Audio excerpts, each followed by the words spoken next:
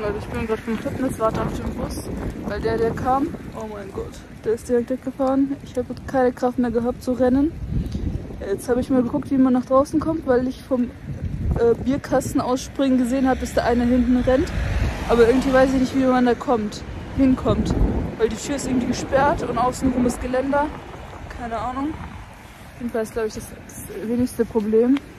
Äh, ich habe einen Bierkasten heute mitgenommen, aber glaube ich realisiert, dass der in der Prüfung von der Höhe her also genauso ist, aber halt oben schmaler. Wisst ihr so, dass das unten breiter ist, aber oben schmaler, weil so wie es jetzt ist, ist halt so unmöglich eigentlich. Was man ist vielleicht fünf Meter hoch oder so. Ich wollte heute so ganz früh kommen, um halt in der Sporthalle diese Bank da zu benutzen und so. Ja, aber ich habe heute schlecht geschlafen, konnte schlecht einschlafen. Um eins habe ich dann plötzlich online geshoppt. Und ja, bin dann um neun aufgewacht. Deswegen, jetzt gegen zwölf kamen die ganzen Leute. Scheiße. Ich habe geduscht, mich umgezogen, geschminkt, damit ich mich jetzt nach ein paar Tagen wieder wie ein Mensch fühle. Ob ich jetzt irgendwo hingehe, ich glaube nicht. Draußen herrscht irgendwie so ein Wind. Ich habe mir auf jeden Fall vor, jetzt gleich ähm, in den Supermarkt zu gehen und einen zweiten Bierkasten zu kaufen für den Lauf. Und dann mal gucken, vielleicht werde ich ein paar TikToks drehen, um mich ein bisschen abzulenken, weil ich habe so gedacht, ja, äh, bis zur Prüfung werde ich jetzt gar nichts mehr drehen, also an TikToks.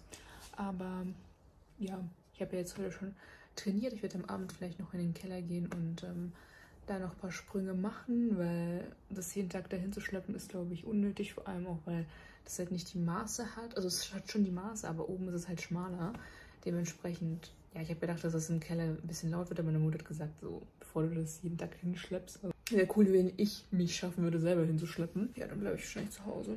Schau Netflix, meine Schwester macht gerade Mittagsschlaf, meine Mutter ist in der Sekunde rausgegangen, wenn sie einen Termin hat zur Massage. Also ich habe mich jetzt nochmal angezogen um joggen zu gehen, aber irgendwie kann ich mich nicht zusammenraufen. Sitze jetzt schon seit 10 Minuten oder so da. Leute, das ist so schlimm. Leute, ich habe meine Haare gewaschen nach drei, vier Tagen und vor allem noch jeden Tag Sport. Ja, ich schaue jetzt gerade noch eine Serie zu Ende, also halt eine Folge. Noch fünf Minuten, weil ich habe noch nichts gegessen und es ist halb neun oder so. Und ich habe vergessen zu erzählen, dass ich wieder umkleide, als ich mich angezogen habe vom Sport einer Oma geholfen habe, ihr BH so zu machen. Und ich hoffe, dass mir ein Universum eine positive Rückmeldung auf meine Probleme gibt, dass ich die Prüfung schaffe. Dafür, dass ich so sozial bin. Wir haben gerade eine 45, warte auf den Bus. Ich habe es nicht mehr geschafft zu duschen, weil sonst hätte das dann nicht geklappt, weil meine Mutter später auch raus muss. Und ich bin einfach nur fertig. Leute, ich kann schon nicht weg. Ich habe einfach unnötig 10 Minuten an der Haltestelle auf den Bus gewartet. Und dann dachte ich mir so, ja, äh, müsste auch langsam da sein. Schaue ich auf den Fahrplan. Am Samstag fahren die nicht. Ja, mega.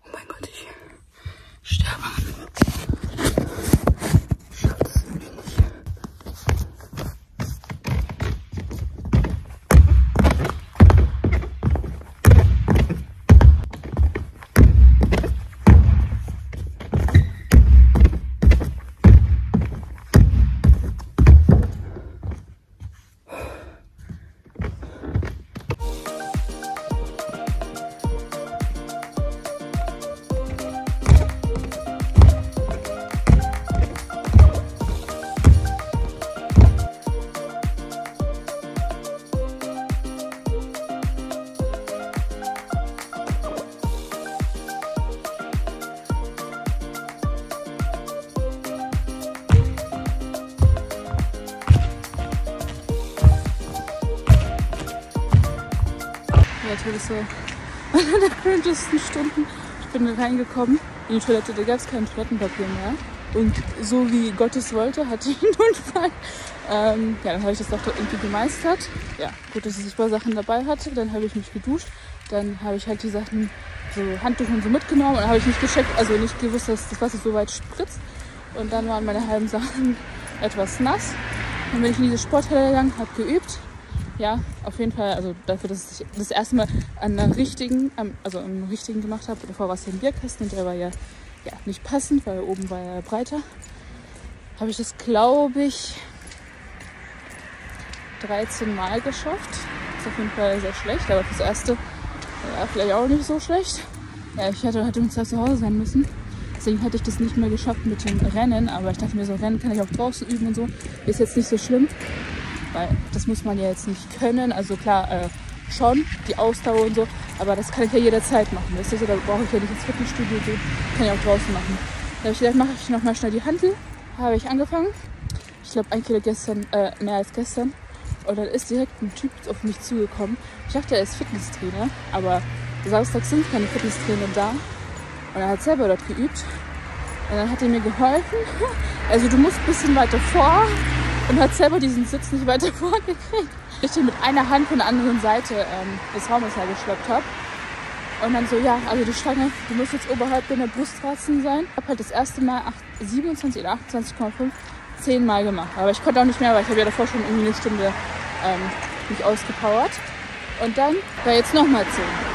Dann mache ich zehn, dachte jetzt nochmal drei. Und dann mache ich drei, also jetzt noch einen. Komm, jetzt schaffst du noch zwei. so, what the fuck, Alter. Ähm, ja, also, oh Gott. Dann wollte ich desinfizieren. Also, also du musst am besten drei Sätze machen, damit sich deine Sehnen dran gewöhnen und bei höheren Gewichten nicht irgendwie reißen oder so. Ja, mega. Ich bin zur Tram gelaufen und bin fast in einem Auto gefahren worden.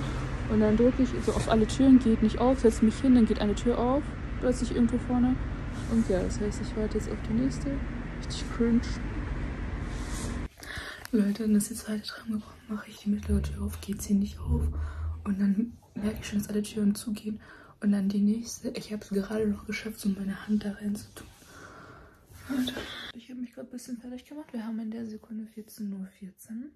Ich habe gedacht, ich schicke schick mich schick an. Ich ziehe mich so ein bisschen schick an oder so. Oder halt irgendwie wenigstens ein Oberteil. Aber irgendwie hatte ich keine Lust. Die Sachen haben mir nicht gefallen, die ich neu gekauft habe. Deswegen ist das jetzt bei dem geblieben.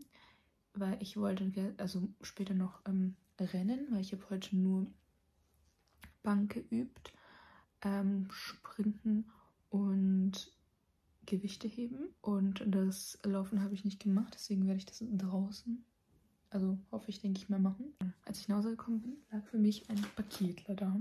Ich habe mir ja vor ein paar Tagen zwei oder drei Sportschuhe bestellt. Ich bin mir gerade nicht sicher, weil ich nicht mehr so viel Zeit habe und ich ähm, sollte sie am besten einlaufen bis dahin. Und das heißt ja nicht, dass direkt das erste Paar, was ich mir bestelle, gut ist, bequem ist. Deswegen gucken wir mal da rein. Vielleicht liegt es auch an den Schuhen, ne? dass man dann irgendwie eine bessere Leistung erzielt. Gucken wir mal. Ich am besten ein Foto machen von dem hier, falls das Paket beschädigt ist. Ja, Leute, das sind sie. Nee, Leute, die sind es nicht. Die sind zu klein, zu schmal. Ich hoffe, dass mein zweites, drittes Paar ankommt bald. Und wenn nicht, dann habe ich, glaube ich, keine Zeit mehr ähm, zu warten, bis es ankommt. Dann muss ich schnell irgendwie einen Schuh laden. Weil, ja, ich habe jetzt drei, also ich brauche eine Hallenschuhe. Also für draußen, weiß ich nicht, ob das draußen stattfindet. Ich glaube ja nicht, deswegen, wenn, dann hätte ich die, die ich jetzt habe. Ich gehe jetzt los bis zum Abend. Also was ist bis zum Abend? Also am Abend werde ich nochmal joggen. Äh, und jetzt gehe ich Sportschuhe gucken, weil die ersten passen nicht. Die zweiten habe ich geguckt, ähm, müssen am Montag kommen. Ich habe eine zwei bestellt, das heißt, letzte Chance. Und jetzt gucke ich, ähm, bei uns gibt es ein paar Sportläden in der Nähe. Da ist noch ein DM. Gucke ich mal nach ein paar Proteinregeln und generell Sachen. Und wenn es da eine Sache nicht gibt, die ich jetzt mir überlegt habe, dann muss ich zu Rossmann. Aber ich glaube, ich hätte nicht mehr die Kraft, zu Rossmann zu gehen. Obwohl, ich, morgen sind hier die Läden zu. Ja, mal gucken. So Leute, ich habe jetzt vor joggen. Ich mache mir jetzt Haferflocken vor dem ähm, Joggen gehen und mache eine Banane rein, weil ich gelesen habe, dass das vor dem Sport gut sein soll.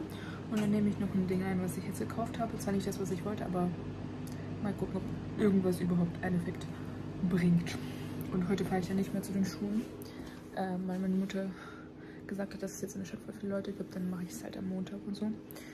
Ja, bestellen wir jetzt vorsichtshalber nochmal Online-Schuhe. Die letzten, die ich also die letzten, es gab da schon welche mehr, aber die, die jetzt so für mich eigentlich so gepasst haben, die letzten. Und dann werde ich auch, selbst wenn mir was gefallen würde, nicht mehr bestellen für den Test, weil dann kommt es nicht richtig an und ich muss ja mit denen noch, also vor der Prüfung noch genug üben. Das heißt, ich hoffe, dass ich am Montag welche finde oder halt ja, ich gehe, Anfang der Woche. Jetzt habe ich mich gefragt, ob man direkt nach dem Messen losrennen darf. Und da stehen jetzt verschiedene Angaben. Jetzt habe ich Angst, dass meine Muskeln und Verdauung jetzt parallel arbeiten und ich jetzt irgendwie zusammenkrache. Ich glaube, ich warte jetzt 20, 30 Minuten.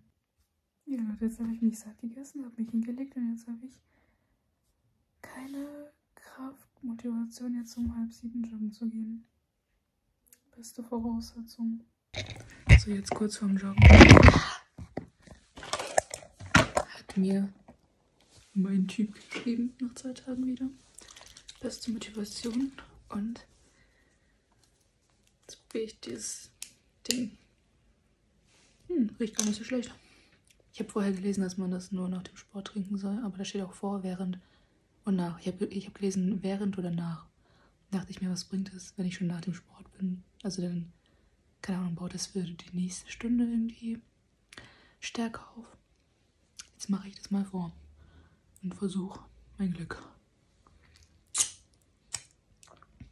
Ja, gar nicht so schlecht. Sie Saft.